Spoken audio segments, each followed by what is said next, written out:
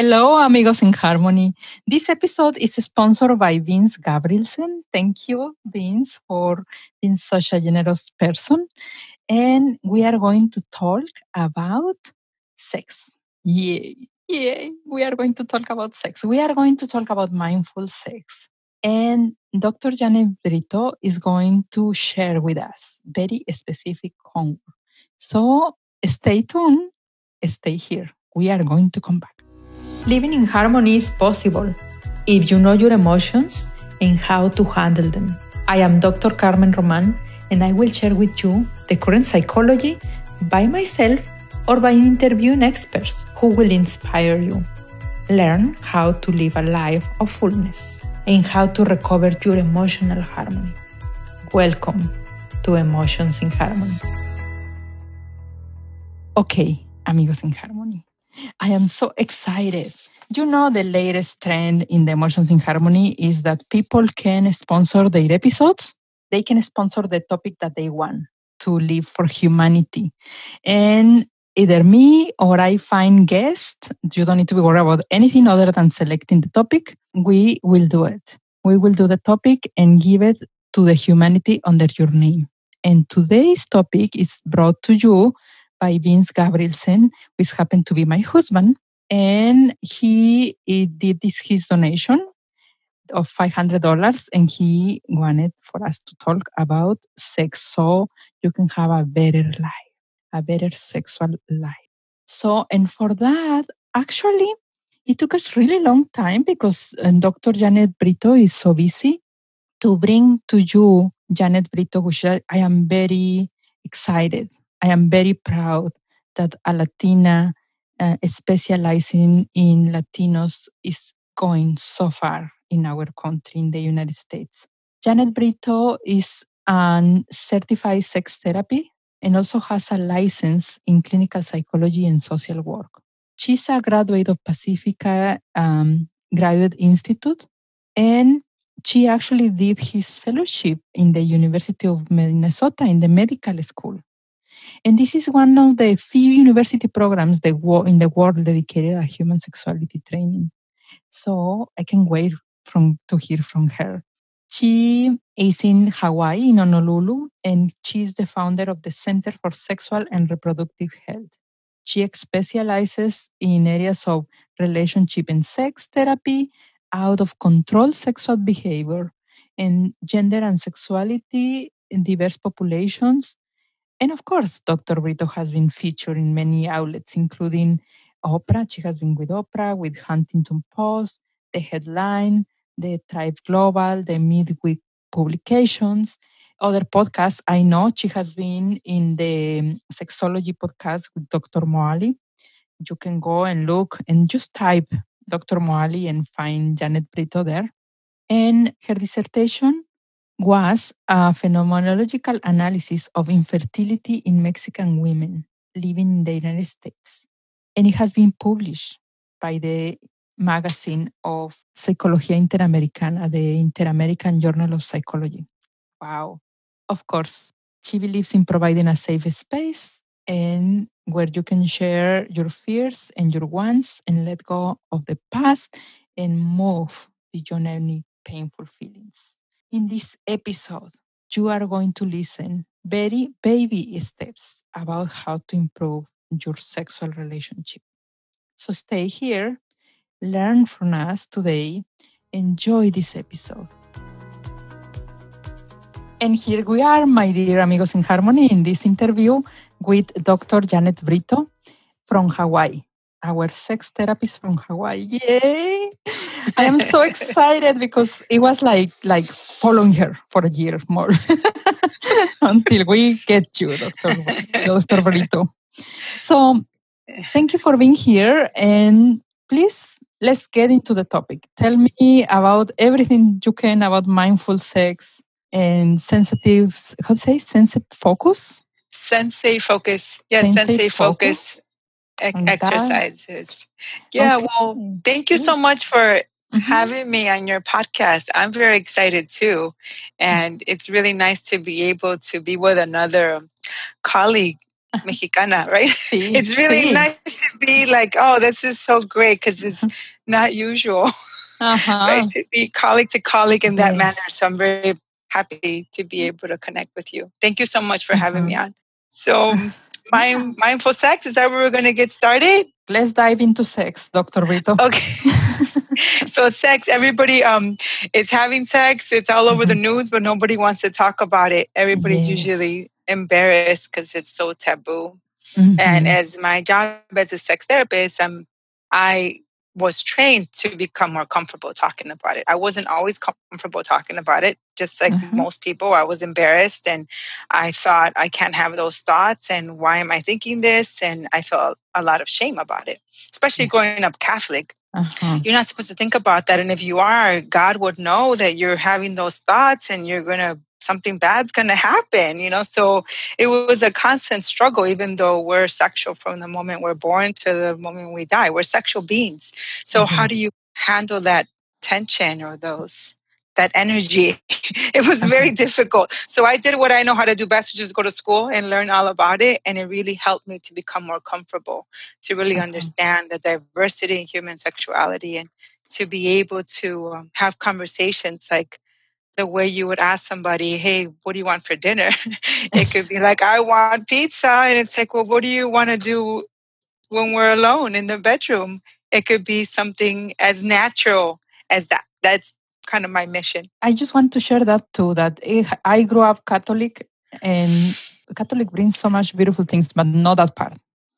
so it, it, it, was a lot of change for me and i keep learning as i keep studying psychology and being around sex therapists actually i my, a lot of my career is around sex therapists mm. so yeah it's it's so tough it's very tough it's just mm-hmm. so much you're right there is a lot of beautiful things about the religion and mm. i like the rituals and the incense i just don't like and the, the building i just don't like it when the person starts talking uh-huh. sometimes because sometimes the message it's it doesn't always match and i'm trying to be more sex positive and to help people be in their bodies and mm-hmm. not to have shame or guilt about something so natural yeah. And sex, usually with Catholicism, it's more about uh, reproduction, right? You have sex between a man and a woman to have a baby.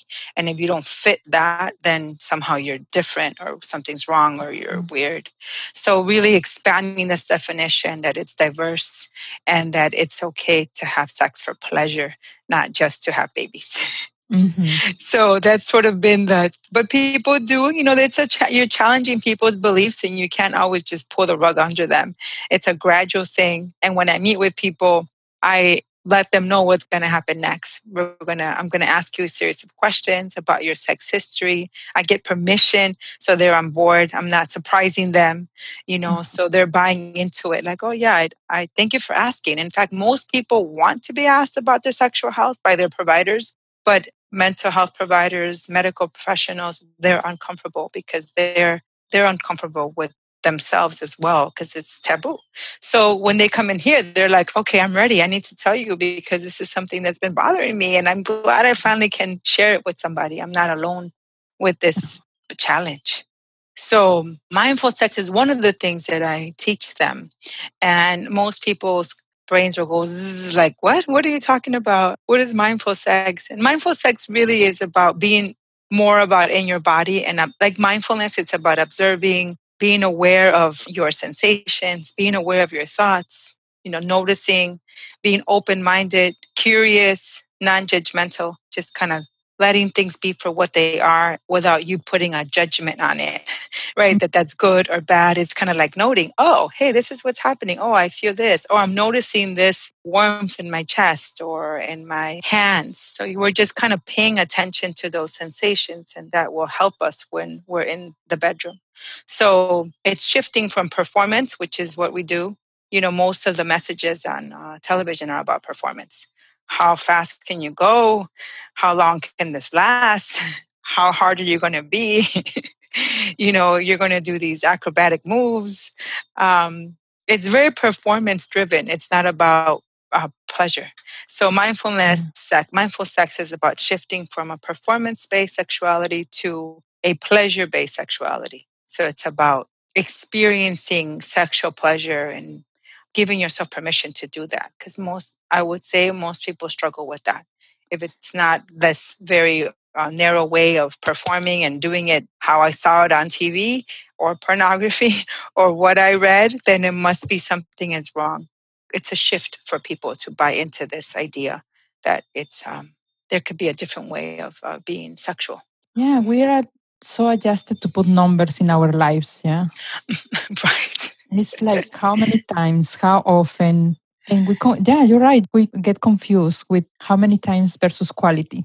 Yeah, absolutely. And then goal orientated, right? Then it's the goal that the per- reason we're having sex is because we have a goal, which mm-hmm. is to mm-hmm. have an orgasm. Mm-hmm. And if we're not having an orgasm, then why are we doing this? Our goal wasn't met. And then people get frustrated and then they put pressure on themselves to reach the goal. And so when you have pressure, you're going to get mm-hmm. anxious and then you're going to think about it and then you're not going to be in your body. And mindful sex is about coming back to your body and kind of noticing. And so then you can relax and then have a different experience. And it could really help with performance anxiety and other sexual dysfunctions. Mm-hmm. Well, if we are going to be brave and talk about sex because I'm sure a lot of listeners say, okay, yeah, that sounds nice, but how I can even tell to a partner who is very difficult to tell. Or what about if he or she gets the idea that I am dating somebody or I am being unfaithful just for asking? Yeah, absolutely. That's mm-hmm. that's a common concern. People can be uh, afraid of being vulnerable with their partner and sharing something as sensitive as their sexual interest or preferences or what they're thinking, even their sexual thoughts or feelings. So I would encourage somebody to start off with a kitchen conversation. So, well, first of all, in any relationship, there's it's important to have emotional safety. If you're feeling like you can't bring up certain topics because you're afraid you're going to get sabotaged or you're going to you won't bring it up because it's you're afraid you're walking on eggshells or you're going to get um there's going to be a negative consequence that needs to be addressed okay. ahead of time right because mm-hmm. now you're going to put yourself in a situation and we would never do sex therapy if there's domestic violence, if there's untreated mental health or substance abuse, we want to make sure that those things are taken care of before we can jump into sex therapy because it mm-hmm. requires a safe space for you to be vulnerable and share your fantasies, your those very private thoughts. If it's not safe, then I why would you do it? It's better not to. So first, you're creating a safe space. If you have a safe space and your partner is um, open and willing and you're uh, not worried about being accused of something, then I would then have a kitchen conversation, not in the bedroom, but in the kitchen about, hey, you know, I've have some dinner first so you're not hungry. and, and nobody's stressed out, right? You can really focus. Uh-huh. you know, I've been I've been thinking about this. I watched this show. I heard this song. I read this article. I heard this podcast. Uh-huh. And I've been thinking about our our sexual relationship and I wanted to talk to you about some of those things that I've been thinking about. Is this a good time? Then you want consent. Like cuz okay. your partner has to be ready too. Like oh, uh-huh. yeah, you know what? This is a good time or today's not a good time, honey. I, I have to go run off. And it's like oh okay let's let's talk about it on saturday then right? We're yeah. kind of then preparing the space. And now you're together it's like oh yeah i'm really you know i've been thinking about trying some new things. Like i would like to i saw this vibrator and i'm curious to try it with you. Is that something that you would be willing to do with me so you're being accountable to your sexual interests you're mm-hmm. naming that. And then you're asking your partner for consent. Do they want that with you? And then they may say, Yeah, actually, I, I would be interested too. I'd love to try that. Or they can politely decline the invitation. Uh-huh. That's not something I'm not comfortable with that right now, let's say. Let's continue to explore that and tell me more about what that would mean to you. What are you, what's making you interested in trying that? Oh well i really want to um, i heard it on a radio show and it sounded like i could have a different type of simulation Oh, okay. That sounds interesting. So now you're having a dialogue instead of a demand, right? It's a sensitive way of um, beginning to get some of your sexual needs met and getting consent in the process. You're not forcing anyone to do something. I just mentioned vibrator. This could range to anal sex, to something role playing, to something more non vanilla. Mm. You know, people may have other interests and they might be afraid to mention it.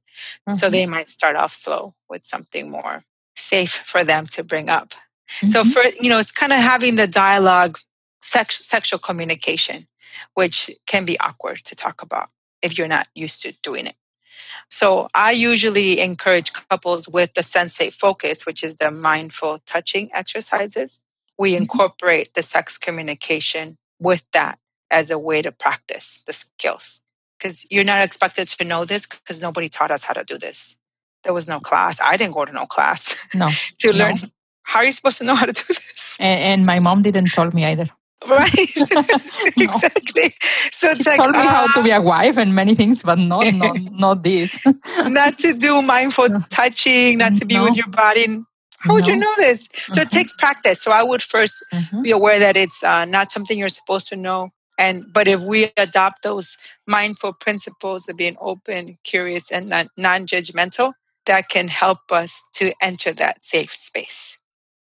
And I will say, Dr. Brito, that this is not related to one sex or another.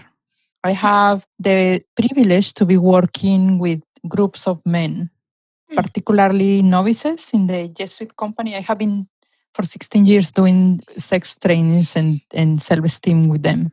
And it's as difficult for men to talk as difficult for women. Absolutely. I would say it, it affects all people. And I mm-hmm. think for men in particular, this is these are generalizations, but mm-hmm. men are supposed to always be ready and available and mm-hmm. sexual and they they're supposed to have high sex drives and be comfortable talking about this and, and when yeah. Right. Exactly. They're supposed to know. What to do. Uh-huh. and when they don't it's very embarrassing and they feel in, inadequate like something mm-hmm. must be wrong with me. And women feel that way in, in other ways, like, well, mm-hmm. how come I don't want to be as sexual as him? Something must be wrong with me, or I don't know about my mm-hmm. body. Right. So there's a lot of fears that people bring to that are associated with sexuality. Yeah. So what I am understanding, if I am following okay, is that one thing is the mindful conversation about it. Yeah. Mm-hmm. It's mm-hmm. like relax, mindful, honey, I made you pozole oh, yum. yeah. yeah. And then, then after that, let's talk about what else. Yeah. Um, and then, then the other thing is the doing, which is also mindful. Yeah. Yes. Yes. Kind of the practice. The practice. Yeah. Yeah. And that's the sense they call it sensate focus. And that mm-hmm. was developed a while mm-hmm. ago by these sex researchers, Masters and Johnson. It's a mm-hmm. very behavioral approach. It's mm-hmm. very hands on. Somebody can do it without a therapist. Some people want to have the therapist as their guide. It's five phases, and it starts off with um, non genital touching. So we're encouraging the individual or the partner to set aside time in their week. I do it with them in session. Take out your calendar Mm-hmm. When do you have the most energy? I'm trying to match this with if they're in a relationship. Okay. When do you both have the most energy? When do you have uninterrupted time? Okay. When can you set aside? I usually say in just an hour to cushion it. We only I assign half an hour for the touching exercise, but an hour that you could put your phone away, you don't have to go somewhere else, and you feel alert not sleepy, but like mm-hmm. energized. And some people during, that work a lot during the week, they're like, okay, Saturdays is our day, or Sunday mornings, or Sunday afternoons, and that becomes their time, us mm-hmm. time. Some people call it their homework time, or their couple time, or their touching time, whatever you want to call it. Mm, and yeah. that becomes your day. Ideally, two times a week. The more practice, the better and the more comfortable it will get. If you're only able to do it once a week, then you're only able to do it once a week. I am interrupting this delightful conversation to tell you that I understand. I understand this when we are thirsty for deep conversations and profound and meaningful, and we don't have the community for? Well, not anymore, at least for the Spanish speaking. This is a community for women, Spanish speaking, who are willing to explore in a very meaningful ways their lives so they can be bold, they can be living consciously, and they can be very proactive. If you are interested, please look for the link in the notes. Look for the link in all our social media. We are starting in December 1st. So join us. Now, back to the conversation. They usually recommend between like 45 to 60 minutes of touching. I usually say once a week, 30 minutes. If you could do it twice, great, because then people get overwhelmed. They're like, yes. "How am I going to put an hour?" Okay, okay, half an hour, uh-huh. and to so start uh-huh. to start with, and fifteen minutes each of giving and receiving touch. Mm-hmm. Non-genital touching. So this is going to mean we're going to focus on head, feet, legs, shoulders, arms, the belly. Mm-hmm. No breasts, no buttocks, no genitals. Okay. And you're spending 15 minutes as a giver mm-hmm. exploring mm-hmm. your partner's body and you're doing it for your own self-interest you're exploring that area because you're interested in it and you're it's about being aware of what it's like for you you're not touching because you think your partner is going to like that touch then it becomes a thinking thing versus a what is it like in my body when i'm touching my partner there mm-hmm. and then when you switch same thing you're getting touched and you're really like, oh, this is a sensation. How does it feel? It's soft, it's firm. I can feel her soft arms, I can her soft hands. So you, it's all about sensation and focusing on the senses, temperature, pressure, texture. Uh-huh. And that can help you to stay in your body, or else we have the tendency, right? Because we have a lot of things to do, mm-hmm. the to-do list. And so you can get distracted come back to your breath like oh hey it's warm in here. I can feel their arm i can feel their hand i can feel their they feel warm or cold. So it's all about sensation. Mm. 15 minutes each the first rounds and i have them do that several times you know a few weeks and then they'll tell you i'm ready to move on to the next step. And then we incorporate not uh, genital touching. So again we're not focusing on intercourse or orgasm or goals. Okay. We're devoting this half an hour for exploratory mindful touching as a way of noticing what that's like for you and your partner. If you want to be sexual, some people may get aroused during the exercise. They can be sexual after the exercise. This is more therapeutic. Mm-hmm. Um, and I really encourage them to protect it, uh-huh. not to drink, to be very mindful. Mm-hmm. It's um, yeah, it's very intentional. I would very intentional. Mm-hmm. And so the second, they usually do phase one and two, it just means you're switching, giving and receiving non genital mm-hmm. touching. Phase um, three and four is giving and receiving genital touching. Mm-hmm. And so you're exploring now, you're adding vulva, buttocks, penis, but you're not over focusing on the genitals. Mm-hmm. It's not when you get to that phase that you're like, let me go jump right in and mm-hmm. start touching the breasts. No, same thing. Head, you know, feet, arms, legs, belly, breasts, uh-huh. vulva, buttocks, right? So it becomes another body part. It's not the body part. that makes sense. Right. Because then some people just go straight. It's like, wait, wait, wait, wait.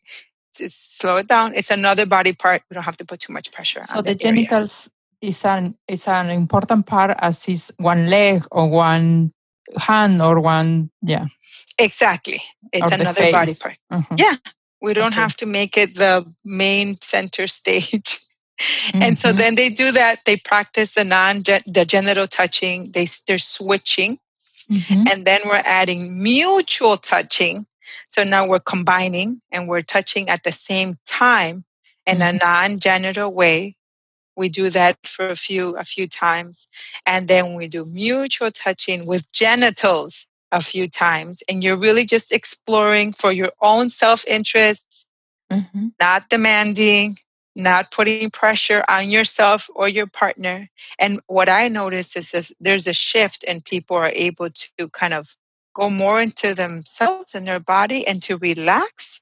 And in that process, they seem to become more aware of their own pleasure. And if they're having some type of sexual dysfunction, like erectile dysfunction or low sexual desire, it sort of kicks a different gear and they're like, oh, I'm at, they start to have less of that problem because we've, we're like in a more relaxed space versus an anxious space. So the mindfulness kind of helps with that.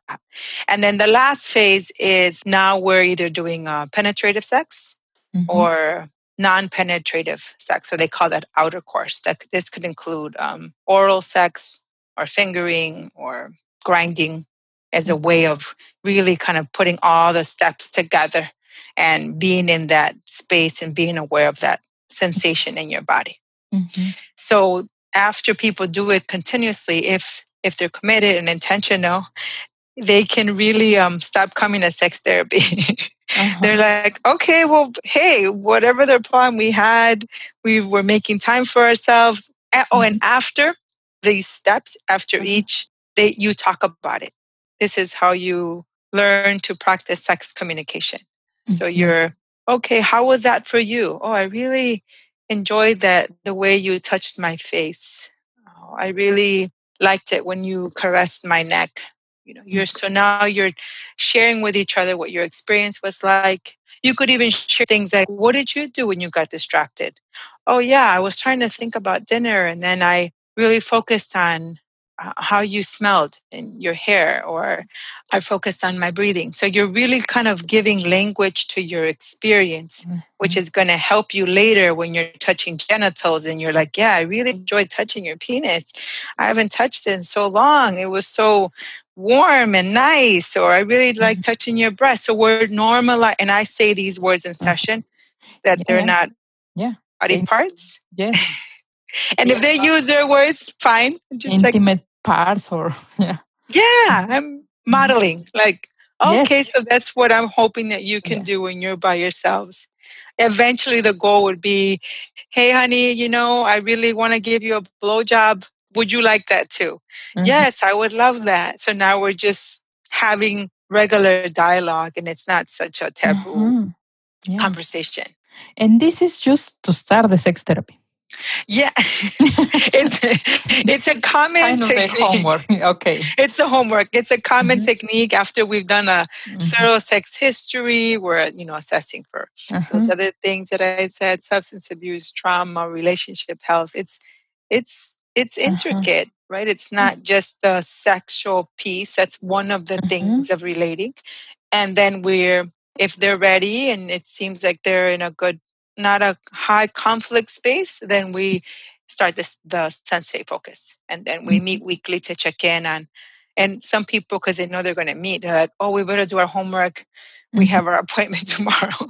Mm-hmm. And then they come in, they're like, oh, yeah, we just did it yesterday. Mm-hmm. And that kind of gets them going. And then people stop coming because they, they got the skills mm-hmm. down. And that's what they wanted is to be more sexually close with their partner. Uh-huh. And what is what is a good technique or a good advice for focusing the mind? Because the mind tends to wander like, oh, I didn't put the the dinner, I didn't close the door, I didn't like Absolutely. Mm-hmm. So yeah, you know, mine is the mind is just wild and creative. Yeah. Very creative. Mm-hmm. Um, I would we use there's an acronym that can be helpful. The TPT, mm-hmm. texture, focusing on texture, pressure, or temperature. Okay. That's one technique. The other one mm-hmm. would be the five, using any of your five senses. Mm-hmm. If it's very um, busy, I, I like to use the metaphor of the cloud. So, you know, we're noting it, like we're not beating ourselves up for having those thoughts. We're noting it. Thank you for coming. I know you you have a lot to say. Um, for right now, mm, put this on the cloud. Mm-hmm let it flow away or mm. imagining putting it on a leaf and then going down the river. And i'm sure you'll come back around and i'll address it you know when i'm done. So it's not beating yourself up for it. It's just being mindful noting it putting it somewhere else and then bringing yourself back to your breath or the texture or your senses to help you stay in the present moment. Yeah that's very helpful because it requires discipline sort of speak yeah yeah and, and practice mm-hmm. and i mm-hmm. think also permission that you can have this time for yourself to mm-hmm. explore mm-hmm. your body in this very intentional way mm-hmm. it's very we're doing this very intentionally to re, find a way to reconnect not only with yourself because people can do this if they're not in a relationship mm-hmm. just to connect back with yourself because it's so distracting all the time you don't even know how to be in your body anymore. Mm-hmm. And then if you're in a relationship, to connect with your partner. Mm-hmm. You know, I am so glad that you actually start directly by putting aside domestic violence or conflict or something more difficult in the relationship because because all my questions had to do with um with that with like how i can even make my partner to respect my body when I am in a relationship like that or something. But I am so glad to put it aside because we need to talk about when couples are in a good place, but they need to expand their sexuality. They need to start enjoying their sexuality. Yeah, absolutely. It, it's very difficult. It's unsafe if mm-hmm. we, you know, we were to start sex therapy. If I know there's domestic violence or some kind of mm-hmm. emotional abuse or. Exploitation because then it could be used against the person yes. and that would not be um, okay. Yeah, it would not be a good place. Mm-hmm. yeah. Yes and like putting again the thought that if you are in a good relationship if you are happy in your relationship this means you can work more. You can just start focusing on having a better sexual life. Yeah absolutely. Mm-hmm. yeah i would say and there are some people that come in that want sex therapy that I don't believe they're ready for and i'll just mm-hmm. be honest and those that are like they're they have a good relationship they have a good way of partnership and there's this area that they just feel like there's a block or they've had a family or they're high stress and they're really missing this piece mm-hmm. and they're looking for some guidance and once they because they they know it it's just mm-hmm. kind of the permission and the guidance like, and the accountability that hey i'm gonna help you all through this process and guide you. And then they're like oh oh mm-hmm. hey I, I can do this. And in some cases there's blocks and then we'll address them. You know it could be medical. Sometimes people have a diabetes or cardiovascular problems or some people maybe restrictive views on sexuality or stress. That's the uh-huh. biggest one is having yeah. too much to do. Exactly. so tired. Mm-hmm. being tired and then especially in the Bay Area, this is this phenomena where couples live two, three families in one house because of the fee of the expensive living that we have here. So they don't mm. have privacy. That's another factor. Mm-hmm. I, I would say in Hawaii too, because the mm-hmm. housing mm-hmm. markets are expensive. A lot of people still live with their parents or their relatives, or kids' room is right like mm-hmm. there. Yeah that is a very valid concern. Mm-hmm. And how do we navigate those spaces? Yeah. You know, it, it it's possible maybe sometimes people can put a lock on their door. It's like really having to be creative. Yes, really, right. I suggest uh, the couples that I work with just book a room in a hotel or something that you have the babysitter with the children and then you have your own time. Mm-hmm. Yeah. Yeah really planning it, being intentional about it. Yeah. Have that us time. Mm-hmm. Yes. Rescuing this part of the of the relationship. Yeah, yeah. Mm-hmm. absolutely. I think you really gave us exact homework. I love that. Yeah. Like oh, great. exact homework. They have a lot of homework after this episode. Just go and yeah. exactly. Yeah. Take out mm-hmm. your calendar, put it in. put it in two times 30 minutes a week and 30 minutes actually sounds a lot but once you are practicing it's going to be probably longer yeah yeah once, and i'd be i'd be happy i have a guide with the mm-hmm. steps uh-huh. i would be happy to share it with your listeners mm-hmm. please do because i think they some of them will do the homework yeah it'd be great mm-hmm. yeah. yeah. so Thank you, Janet. You really were really helpful in, in this topic for us. And Thank you. is anything, please tell us where to find you. Tell us it, well, the guide we are going to put in the notes, or you want them to contact you so you can give it to them? How how you want that? Yeah, I can give you the guide to put in the notes, and they can uh, download it. My website is sextherapyhawaii.com, and I, mm-hmm. my plan is to add it to the, you know, put your email and then you get it in that process. I'm also on Instagram at Dr. Janet Brito. Mm-hmm. And I have a Facebook page, Dr. Janet Brito. I'm sharing sexual health information all the time. My message mm-hmm. has been to just share sex positive messages mm-hmm. to kind of balance out all the negative ones we were yes. given. you, you have a lot of work. You do. yeah. So thank you so, we will, much. We will put all the links in the show notes. Yeah. Okay. And because some people have hard time opening the show notes. If you are one of these people that not tech savvy, just go to the Emotions in Harmony website and type Janet Brito, and you will find you will find Janet and her links to go and visit her in the social media. And actually now Google make it so easy. You just put Emotions in Harmony and Janet Brito, and it will be there once this episode is published. Yeah. Yeah. Great. Yeah, it's great. I love it. It is great. so we will have everything for them to find you. And so I have a question. Do you, if if a couple wants to work with you, is your license only allows you for them to live in the Hawaii or how this works? Yeah, for now, my license is only in Hawaii. Yeah, this and, happened yeah. with me in California. Yeah.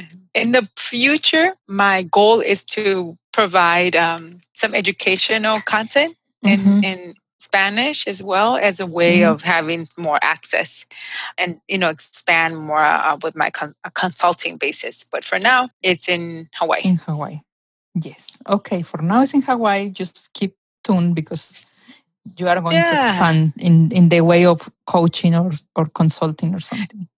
Yeah, um, eventually. Yes. Yes. Good.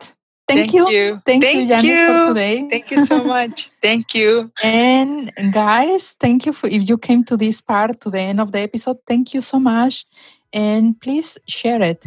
You know, actually, just take it and share it with all your friends so nobody gets offended. because it's a sensitive topic. You just share it and enjoy this episode and enjoy your sexual life. We want we want to for you to have a better sexual life. This is the goal. Yeah. Yes, it is. Yes. Thank you. Bye for now. We have reached the end of another episode of the podcast Emotions in Harmony. See you the next week. Visit www.emotionsinharmony.org, where you can subscribe, find the notes, and be in direct contact with me. Thanks for listening.